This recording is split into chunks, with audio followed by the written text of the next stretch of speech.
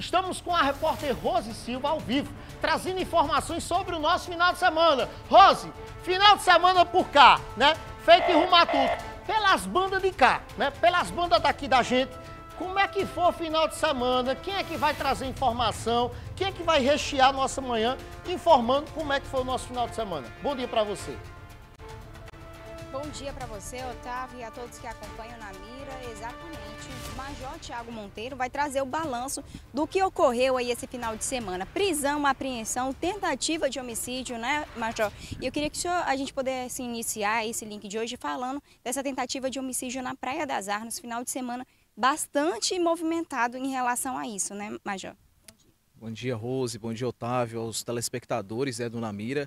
Sim, Rose, realmente um, um, fim de semana, né, fechando a temporada de praias aqui no estado de Tocantins e um de maior intensificação, né, começando pelo, pela tentativa de homicídio ontem aqui na, na Praia das Artes, né, durante a apresentação aí de, de show artístico. É, tivemos é, um indivíduo que disparou, né, que é, disparou a, com arma de fogo, a, vários, né, vários disparos e acertou três pessoas. Uma delas ficou, foi, foi alvejada né, por vários disparos e acabou que, que era que a gente supunha que seria o alvo né, da, dessa, desse atentado e que, né, conforme levantamentos, né, teria também envolvimento com, com, facções criminosas e duas pessoas que estavam próximas também foram alvejadas aí, cada um em uma das pernas. É, foram conduzidos, né, estão aí em, sob cuidados médicos. O, o, o, o autor dos disparos é, ainda não foi localizado, e isso mostra aí né, essa, essa movimentação de, de, desses elementos. Além disso, né, eu, agora o Otávio veio falando também, né, tivemos várias, né, várias ocorrências né, de apreensões de drogas, de recuperação de, de, de motos e objetos é, furtados e roubados. Né, também lá em Araguaí, nesse caso que foi citado né, na reportagem, tivemos em Porto Nacional, em Paraíso, né, no primeiro batalhão também no sábado, na sexta e no sábado. E ontem, ali na área, né, na região sul, também a equipe do 6 Batalhão também fez a recuperação e a prisão né, de, de, uma pessoa por, re, por receptação de, de, objeto furtado e também a, a, apreensão. Então, além disso, né, além da, da, dos veículos, né, essa ocorrência do tentativa de homicídio né, chamou atenção. Também tivemos aí uma ocorrência que nos chamou atenção, foi um, um roubo que teve em Marianópolis né, na sexta-feira. Em menos de 12 horas, a equipe de patrulha rural e da Força Tática do 8 Batalhão conseguiu localizar um dos, um dos ladrões e com ele recuperou também é, um, que estava portando um revólver com dinheiro, também quase 10 quilos de drogas, conseguiu recuperar aí a, a moto, uma das motos utilizadas, munições e foi uma resposta interessante aí, uma resposta para a comunidade, né, que, que, deu esse, deixou essa, essa, esse recado, né, os criminosos foram presos aí menos de 12 horas do roubo, o roubo realizado ali em Marianópolis. Então isso, a gente mostra o nosso esforço, esforço aí do Comando Geral, com as operações em todo o estado, a operação em temporada de, de praias, né, nós conseguimos né, trazer essa sensação de segurança, resgatar essa sensação de segurança, é, com a apreensão de veículos, com a apreensão de drogas, com a prisão de vários ladrões, né, várias recuperações. Então assim, de sexta para domingo tivemos um saldo muito positivo também é, essas situações aí da tentativa de homicídio e também essa que, que o Otávio citou de Araguaína,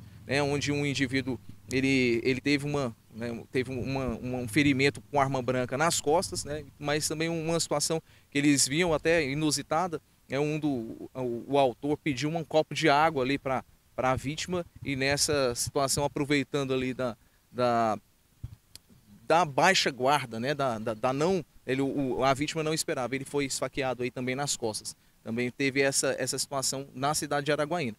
Mas no redor, né, em todo o estado, o que nos chama atenção é também os acidentes de trânsito. A gente aqui re, né, reforça todas as nossas preocupações e também a necessidade de, enquanto cidadãos, nós somos, fazemos parte do trânsito. Então tivemos vários acidentes e isso mostra a importância de estarmos batendo nessa tecla, né? O trânsito ele merece, ele exige cuidados, ele exige né, uma atenção constante né, de quem está aí à frente do, do, do controle aí de um, de um, seja de uma motocicleta, de um veículo ou até do pedestre. Então é importante a gente ter bebida alcoólica não combina, a gente vê aí a própria Secretaria de Trânsito, ela traz que cerca de 30% dos acidentes com vítimas fatais tem a questão da bebida alcoólica envolvida. Então, assim, é algo que a gente sempre alerta, por mais que seja temporada de praia, as pessoas querem extravasar nesses momentos, mas é importante eu entender que preciso é, é, conseguir outros meios. Uma pessoa que fique como motorista da rodada, utilizar mais os aplicativos, né, de,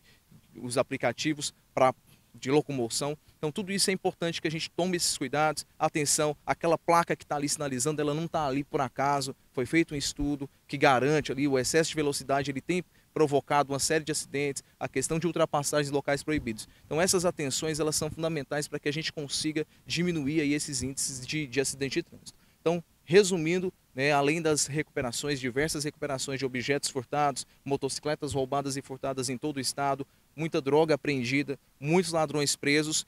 É, a gente faz esse reforço e chamamos aí quem está nos ouvindo ainda, por mais que a gente encerre a temporada de praia, a gente vai estar tá hoje lançando esse balanço aí até o final do dia, mas Ainda a gente sabe que o Tocantins ele tem, as praias continuam, muita gente ainda aproveita o mês de agosto. Então a gente sempre reforça essas dicas, essas orientações. É, uma, é, é a sua vida em risco, é a vida de pessoas né, da sua família e também de outras pessoas que às vezes não tem nada a ver com, com, a, com alguma situação de festa, estão indo trabalhar e acaba se envolvendo em acidentes. Então é muito importante que a gente tenha esse cuidado, mantenha esse cuidado aí nesse mês de agosto, que também é um, é um, é um mês que chama a atenção, até porque a gente tem essa continuidade, ainda tem essa, essa continuidade dessas ações, dessas festividades e contamos aí com a colaboração de todos aí para construir aí um Tocantins cada vez mais seguro.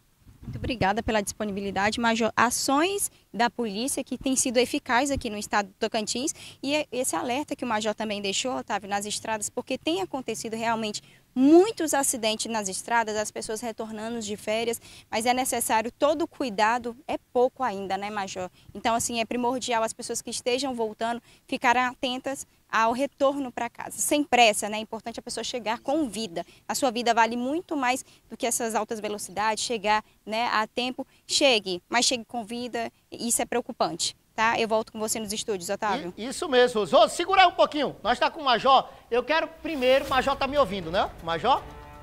Tá me ouvindo. Major, primeiro eu estava falando aqui, eu quero parabenizar, eu estou muito honrado em morar no estado do Tocantins e saber que nós temos uma segurança eficaz, nós temos uma, uma segurança que está diuturnamente né, guardando o cidadão de bem, dando a resposta rápida nas apreensões, prisões, recuperação de veículos. Estou muito feliz com isso, muito feliz. Quero parabenizar o senhor como chefe né, da ASCOM do nosso estado, da Polícia Militar, né? E também dizer que eu estava com saudade do senhor, que o senhor nos, o senhor nos abandonou, o senhor, o senhor agora disseram que o senhor estava de férias em Cancún, aí depois passou pela Grécia, Dubai, e agora o senhor está de volta. Dizer que eu estou muito feliz em ter o senhor de volta aqui no, no Namira, viu? Muito obrigado. Eu que estou honrado de estar mais uma vez aqui, viu, Otávio? Conto conosco, né? As férias não foi, não fui para tão longe, não, mas aproveitei uns dias.